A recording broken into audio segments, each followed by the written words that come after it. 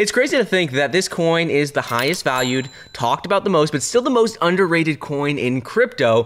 And I would bet that a lot of people watching don't even own it, yet institutions are always investing in it, regulators are always talking about it, and new reports are coming out all the time saying how it is the best coin in crypto. So today's video, we're gonna talk about a brand new report that just came out. But before we dive into that, I just wanna let you know that Patreon is completely sold out. Thank you for everyone who joined. We do daily live streams, buy and sell alerts. In the meantime, you guys can still join our free Discord using the link down below. I am in there all the time answering questions, and anyone in there would let you know that as well.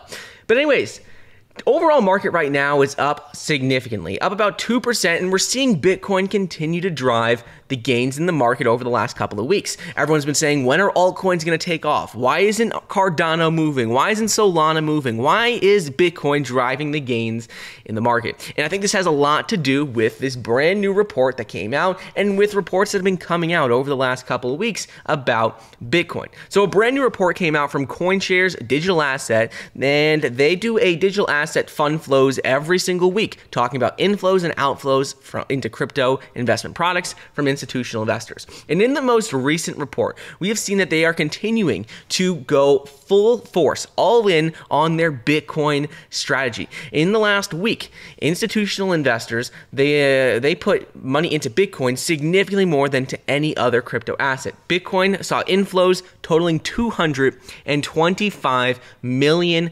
dollars, which is the vast majority of all inflows into crypto. If we look at the report, you could see Bitcoin 225 million dollars of inflows.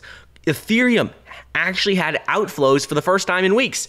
And we're seeing that no other coin really had any significant inflows. Maybe Solana, Solana had about $12 million in inflows, but for the most part, all coins were relatively flat in terms of inflows and outflows except for Bitcoin. And this is a key change that we are seeing take place from institutional investors. Over the last two months or so, we have seen them accumulating more and more altcoins, specifically like Cardano, Solana, um, Polkadot, and coins like that. But now we're seeing the exact opposite that they are accumulating Bitcoin and only Bitcoin, and they're continuing to add more to their position. So the thing is, is a lot of retail investors look at Bitcoin and they say, well, it's like $50,000 per coin, $60,000 per coin, uh, it doesn't have as much upside. I shouldn't be involved in it. And for that reason, a lot of people go 100% into altcoins or 90% into altcoins, and that is a big mistake. Everyone invested in crypto needs to have exposure to Bitcoin, whether you are investing $100 or $10 million. It doesn't matter. You should have exposure to Bitcoin.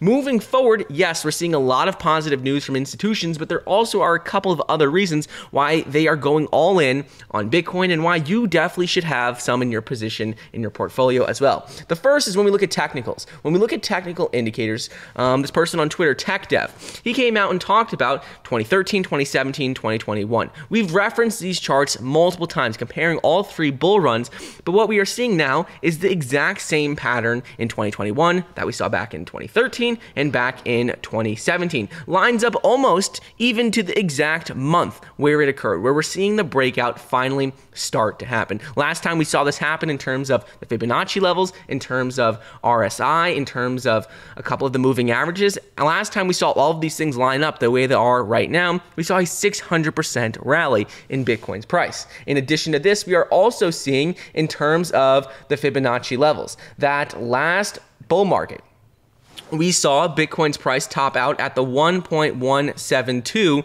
Fibonacci level. If it does the same thing this time around, it would push Bitcoin's price all the way up to $250,000 per coin.